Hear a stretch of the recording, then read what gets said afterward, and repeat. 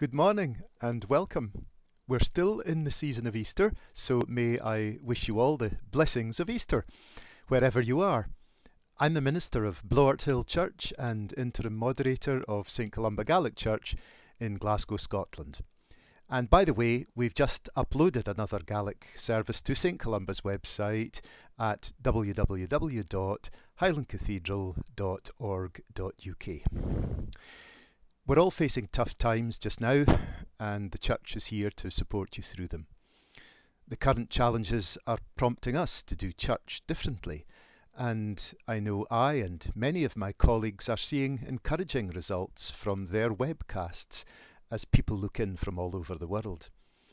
Others, um, well, some churches have, have top of the range equipment and they've got input from experts to, to get their services online and there are others like mine um, that are a, bit more homespun. So please excuse any technical shortcomings. This is definitely not the BBC. Do light a candle again tonight. And as you put it in your window, see a way prayer for everybody who's affected in any way by the COVID 19 pandemic. Remember to include yourself in that prayer. The candle reminds us that Jesus is the light of the world and he gives us hope and courage in these times. Thank you again to the young people of Blawarthill for drawing your rainbow pictures. They're up in the windows of Blawarthill Church for everybody to see as they pass. And today I'd like to give a shout out to the staff and volunteers at Glasgow Northwest Food Bank who are based at my church at Blawarthill. During the emergency, they have been busier than ever and they're getting food parcels out to the most vulnerable people in our community. So well done, great work, guys. And I'm chuffed that we got a mention in two separate articles in the new May edition of Life and Work magazine, the magazine of the Church of Scotland. And finally, if anybody wants to make an offering, you can go to the Blawarthill website at www.blawarthillchurch.org click the donate button to take you to the donate page and then look for the yellow PayPal button. We don't expect you to make a donation if you're on reduced income or if your job has disappeared. But if you were used to putting in your offering to the plate on a Sunday, for example, and can no longer do this, then the donate button is a good way to keep your support going for your church for the next wee while we do appreciate anything we get. Now, at the beginning of this service, let's draw together with God. Let us pray. Heavenly Father, may we continue to know your Easter blessing as we worship you. Lord Jesus Christ, cheer us with your living presence, even in the midst of difficulty. Holy Spirit, Help us to receive you this day and make us more open to receive the gifts that your indwelling makes possible. Holy God, the strength of those who believe, help us to have faith and through this time of worship receive the fullness of Christ's blessing, who is alive and reigns with you and the Holy Spirit, one God, now and forever.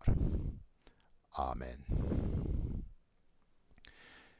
Now, in these Sundays after Easter, we generally in the church take our readings from the resurrection appearances of Jesus, and today we're doing that from a reading from the Gospel according to John, chapter 20, reading verses 19 to 31.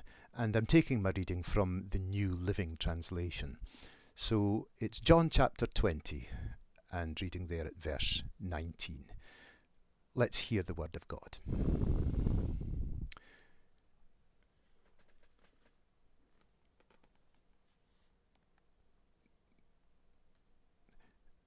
That Sunday evening, the disciples were meeting behind locked doors because they were afraid of the Jewish leaders. Suddenly, Jesus was standing there among them. Peace be with you, he said. As he spoke, he showed them the wounds in his hand and his side. They were filled with joy when they saw the Lord. Again he said, Peace be with you. As the Father has sent me, so I am sending you.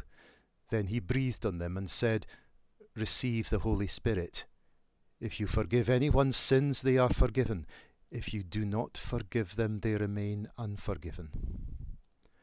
One of the twelve disciples, Thomas, nicknamed the twin, was not with the others when Jesus came. They told him, We have seen the Lord.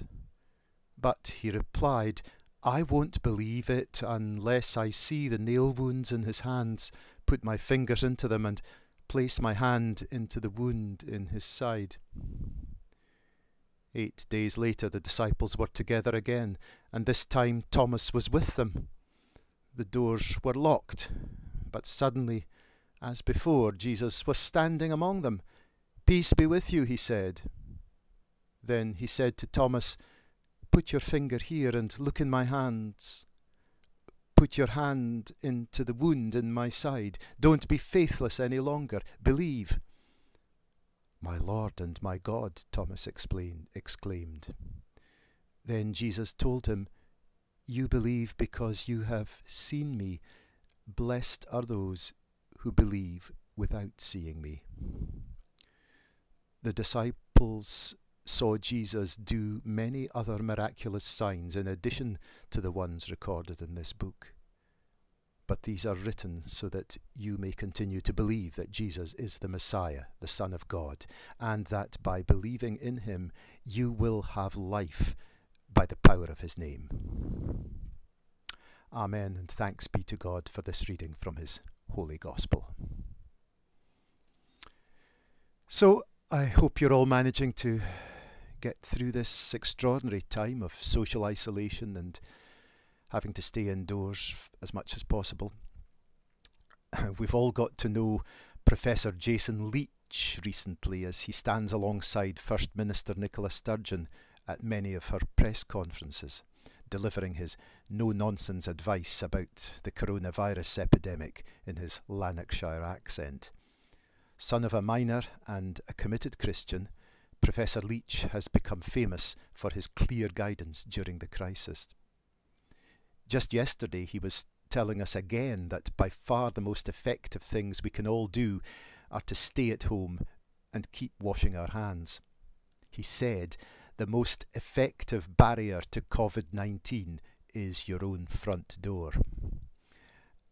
And with this advice clear in our minds, Every time we open our door, the thought should go through our mind is my trip outside essential?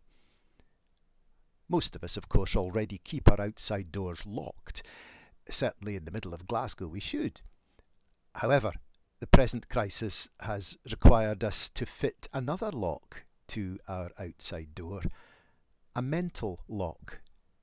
As well as turning the physical key, we now turn over that thought in our minds. Is my journey away from home essential?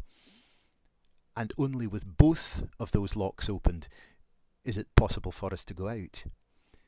And we know the short list that might make it possible essential worker, not in a vulnerable group, daily exercise, important shopping, medical appointments.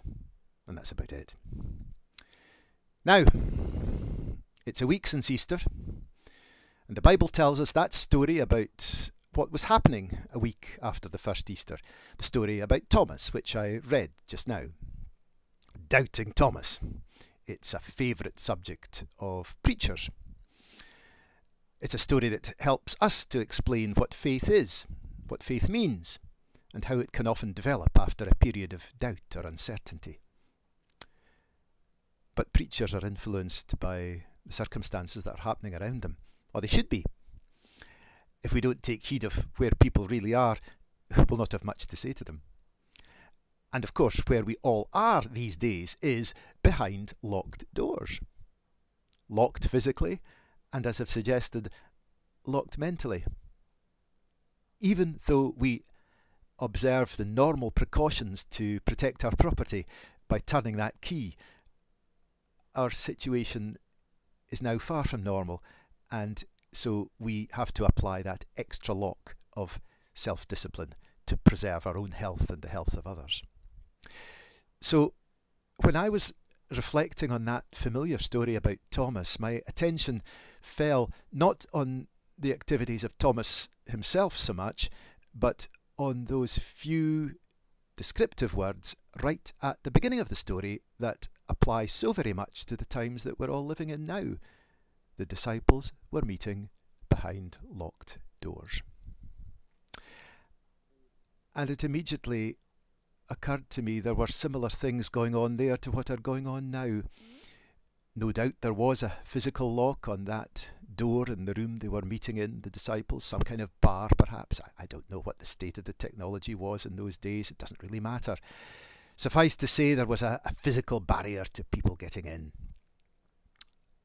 And maybe that's proof enough that it wasn't just Thomas who was needing reassurance.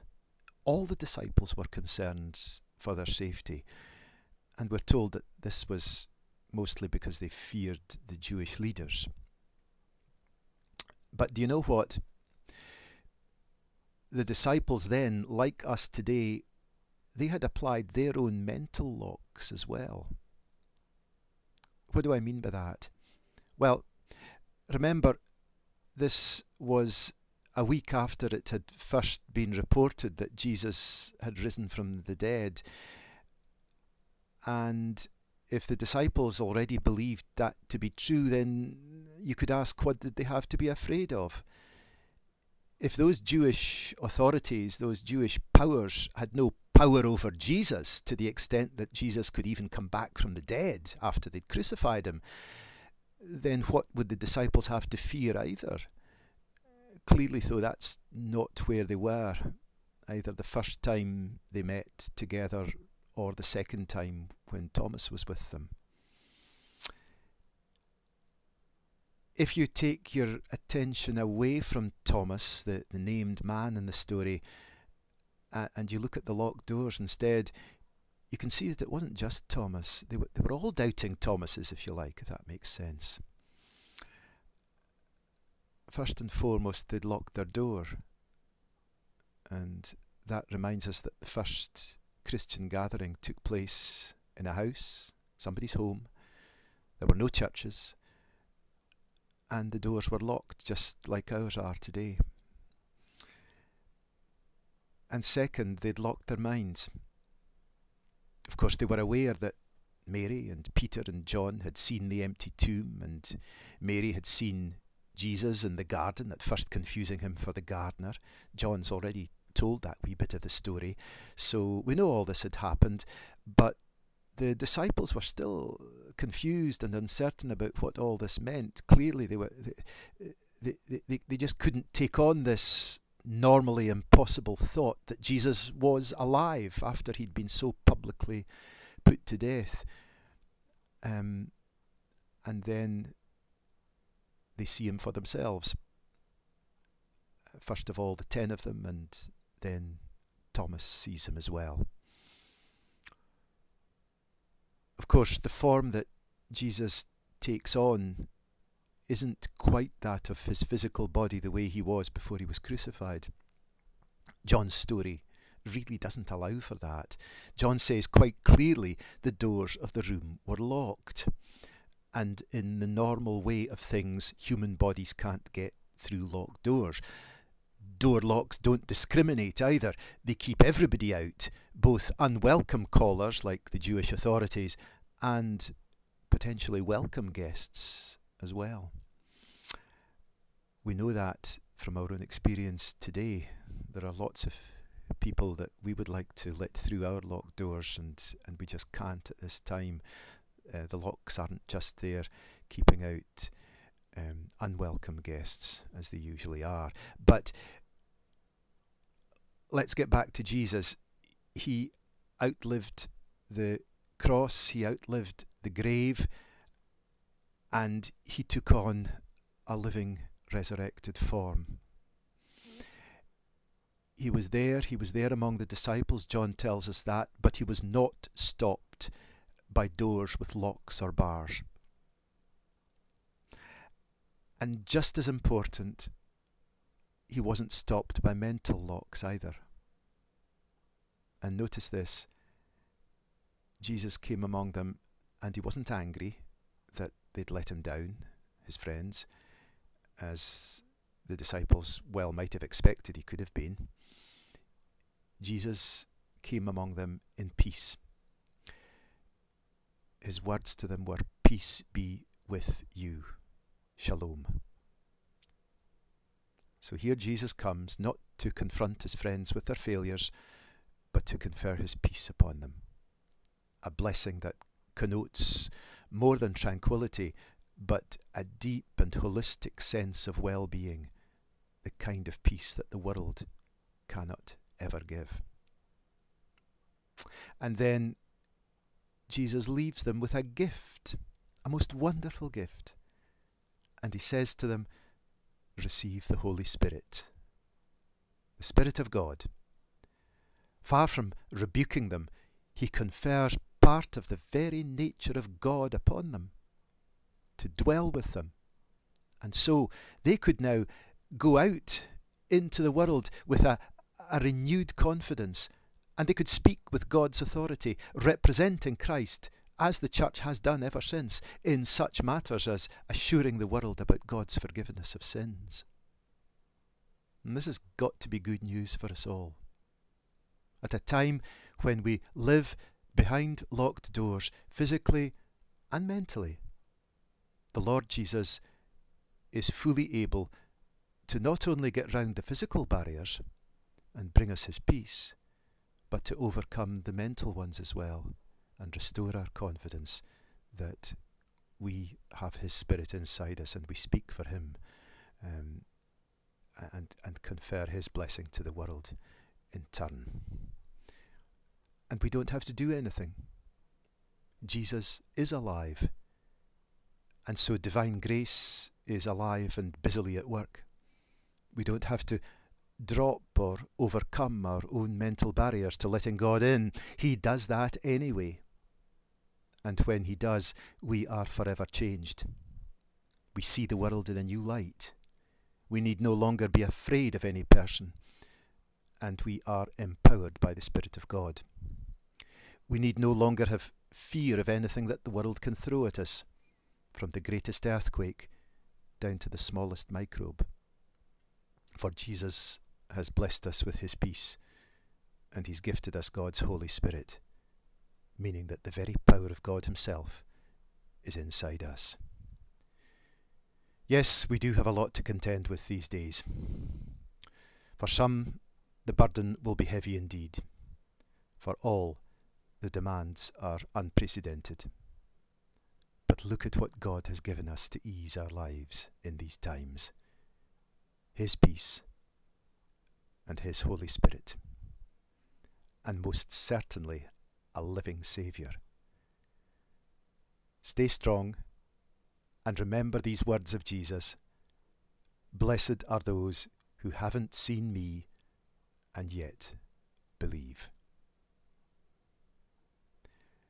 Glory be to the Father, and to the Son, and to the Holy Spirit, as it was in the beginning, is now, and shall be for evermore. Amen. Now, I invite you to join me as I pray this this joint prayer of the Scottish churches which has been released and it's on the Church of Scotland website but it's for this Sunday and it's agreed as a joint prayer by 13 of our Scottish denominations and churches. And the prayer I, think is, is, is good for us today because it's built around this thought of Jesus bringing us his peace, just like he brought the first disciples his peace. So let's join together in prayer. Let us pray. Living God, speak into the depths of our experience. Speak the word that stills our fears and calms our anxieties. Peace be with you. Speak your word to the lonely and to the broken, to the bereaved and to those whose world has crumbled. Peace be with you. Faithful God, speak to us behind locked doors as we remember others who risk their own safety in order to serve others. peace be with them. Carers and nurses, doctors and ambulance drivers, delivery drivers and shop assistants, peace be with them. God who inspires hope, speak to us in the present and speak to us of the future. For though the doors are locked, in time they shall be open, peace shall be renewed. For those who lead the life of our nation, our Queen Elizabeth, First Minister and Prime Minister, and all who shape our common life, for us all, peace shall be renewed. God, whose name is love and whose gift is love, open our hearts to know you and to love you, to love you and to love our neighbour, and as we do, to hear again, Peace be with you.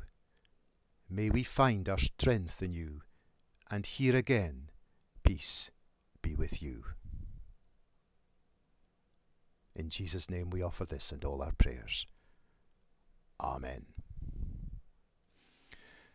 Now, a wee hymn. Title of the hymn is It Is Well With My Soul, and the first verse starts When peace like a river attendeth my way. The chorus is very simple. Do join in if you want. It is well with my soul. It is well. It is well with my soul.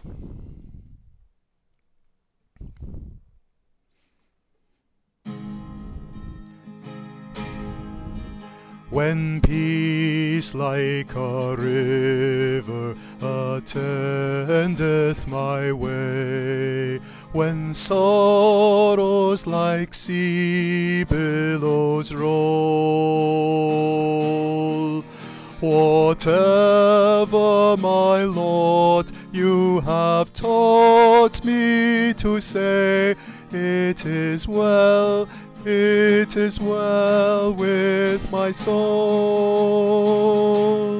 It is well with my soul. It is well, it is well with my soul. My sin, oh, the bliss of this glorious thought. My sin not in part but in whole is nailed to the cross and I bear it no more. Praise the Lord, praise the Lord, O oh my soul. It is well with my soul. It is well, it is well with my soul. O Lord, haste the day when my faith shall be sight. The clouds be rolled back as a scroll. The trump shall resound, and the Lord shall descend. Even so, it is well with my soul. It is well with my soul. It is well, it is well with my soul. It is well with my soul. It is well, it is well with my soul.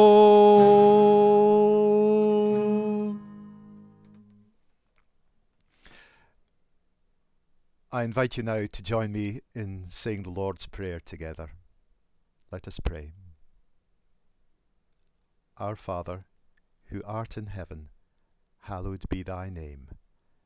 Thy kingdom come, thy will be done on earth as it is in heaven. Give us this day our daily bread, and forgive us our debts as we forgive our debtors. and lead us not into temptation, but deliver us from evil. For thine is the kingdom, and the power, and the glory, for ever. Amen. Now may the blessing of God, Father, Son, and Holy Spirit rest upon you and remain with you and all whom you love, this day and forevermore. Amen.